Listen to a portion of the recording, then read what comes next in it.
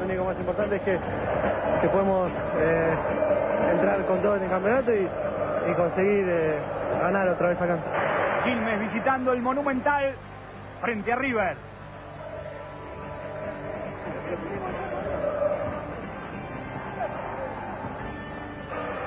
...35 segundos de la primera parte...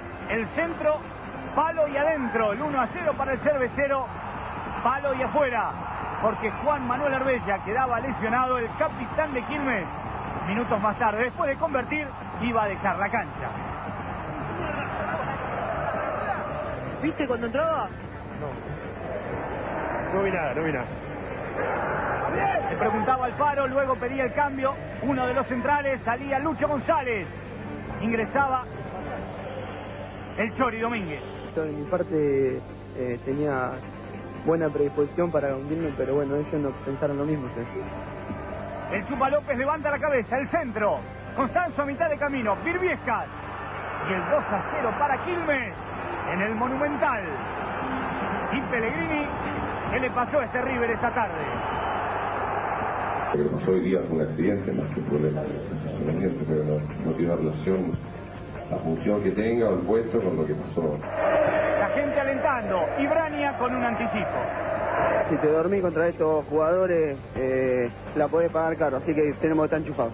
Y el que durmió la siesta precisamente fue el Chapu. Se demora en el rechazo, no le da el puntazo a la pelota, aprovecha Cabenagui para descontar. El equipo de Pellegrini se ponía a tiro de la igualdad, estableciendo de media vuelta el 1-2. Una de las polémicas, Cabenagui.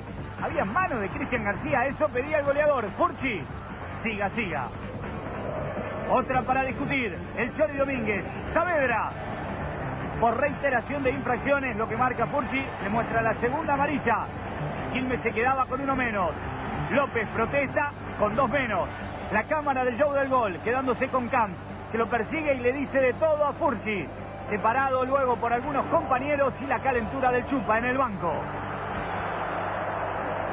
¿Por qué te crees, boludo? No se puede creer, boludo. Me parece fue vergonzoso lo, lo que hizo en el segundo tiempo referido. ¿Sentí que te están robando el partido? No, ¿qué te parece?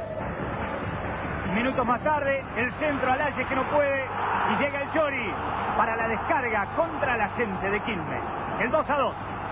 Pensé que la relación iba a ser otra con, con la gente, pero ellos me mostraron otra cosa, por eso se actuó así, pero no en ningún momento, si pasaba lo que pasó, eh, iba a ser lo que hice. Tienen poner, no sé, árbitro con más personalidad, porque ¿cómo te va a tres jugadores? Si, hubiera- si hubiera pasado al mismo River, no le echan ninguno. ¿Pagaron el precio de ser un equipo chico? No, pagamos el precio que Boca había ganado y si no se despega del campeonato River. Este lugar, a los 32 minutos del segundo tiempo, es el que va a traer las polémicas del partido, donde Rafael Furchi echó al Chupa López, el Beto Camp y a Saavedra. La figura fue el hombre de Quilmes, Braña. Lo de Rafael Furchi, ya te dije, analizalo vos, Mariano, que vas a tener para divertirte un rato largo.